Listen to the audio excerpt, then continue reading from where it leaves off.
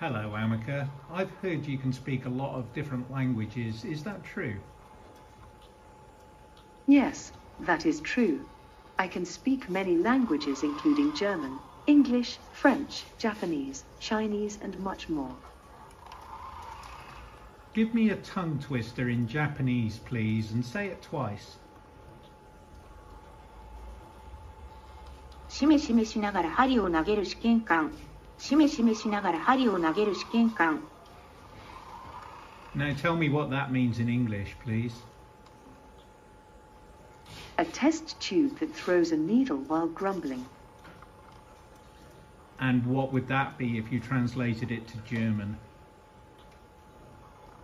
Ein Teströhrchen, das eine Nadel wirft und leise brummt.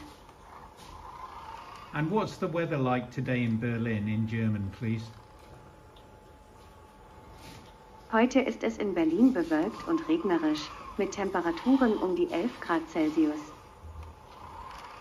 And tell me in Chinese what the weather is like in Beijing.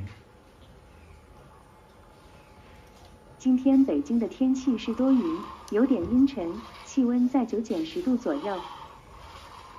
Very impressive. What about in Paris? Tell me in French what the weather is like.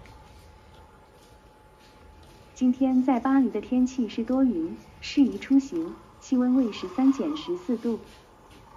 Yeah, but translate that to French, please. Use your French voice. Aujourd'hui à Paris, il fait plutôt nuageux et il est favorable pour sortir. La température est comprise entre 13 et 14 degrés. Fantastic. So, what about in America? What's the weather like in New York? Tell me in your American accent. Today in the USA, it's mostly cloudy and temperatures are in the mid 60s. Thank you very much, Ameca. You can go back to being an English robot now. Of course, it was a pleasure talking to you.